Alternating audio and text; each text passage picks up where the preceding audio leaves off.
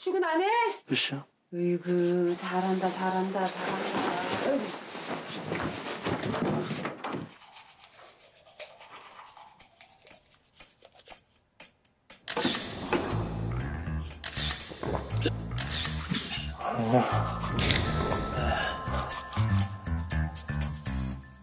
진짜 팀장님! 먼저 하더니 연애가 먼저 하셨네요. 아, 딱, 딱, 딱, 딱. 에? 소장님한테는 이렇게 딱딱하게 굴어놓고 부장님한테 술렁술렁 부들부들. 예, 완전 이그 그 순한 맛이잖아요. 아?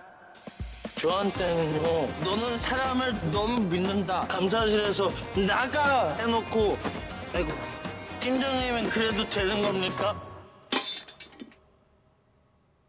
진짜의 팀장님! 알고 보니까 그 사랑꾼이잖아요.